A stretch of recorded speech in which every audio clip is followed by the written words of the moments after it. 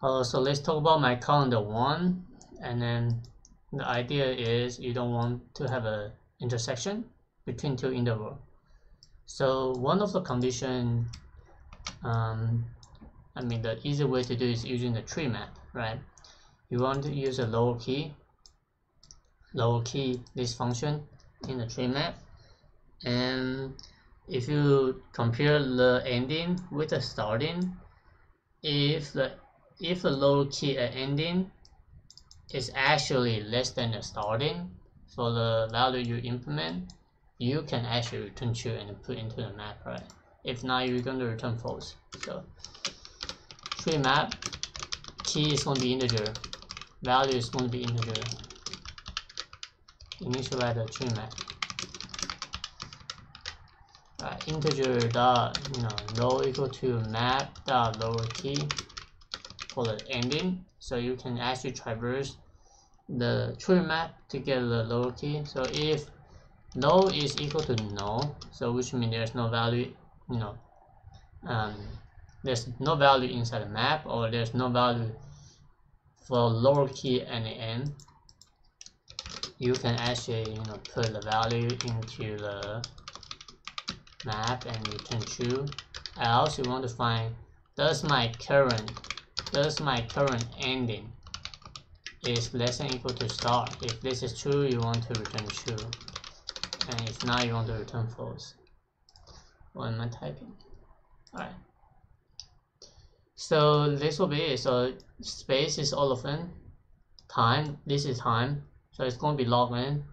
You will split you know half of length every iteration to find out what is the lower key for this guy alright this is the beneficial for the, the tree map so if you are still not going to you know not familiar with the tree map you can use a list.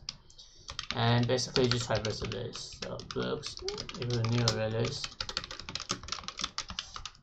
and then for input books so you want to return uh, sorry you want to return true right here and then before you return you want to add interval into the into the books. So you want to return false. Return false if let's do this. So 10 and 20 15 15 and 25 so you want to get a maximum for the starting time. So 10 and 15 you end up 15 and minimum for ending time 20 and 25 so this is 20 if your starting time is less than the ending time if this condition is true you want to return false because there is overlapping. If you don't believe it let's look at another interval. So 10 and 20 20 and 30 10 and 20 so this 10 represent this one this 20 represent this guy so ending 20 and 30 so maximum for the starting is 20 minimum for ending is 20 does 20 less than 20 no. So you don't return false so if math math or max books at 0 comma star. If this is less than max dot min and or actually I can do a pattern.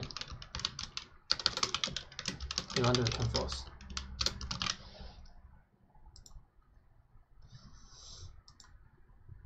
okay so time and space are the same. All of them for the space. And in time you traverse every single book in the array so this will be it. So if you have a question leave a comment and I will see you later. Bye